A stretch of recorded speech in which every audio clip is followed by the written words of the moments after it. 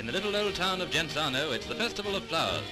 Streets are carpeted with living blooms. All the patient skill of the peasants makes a superb show.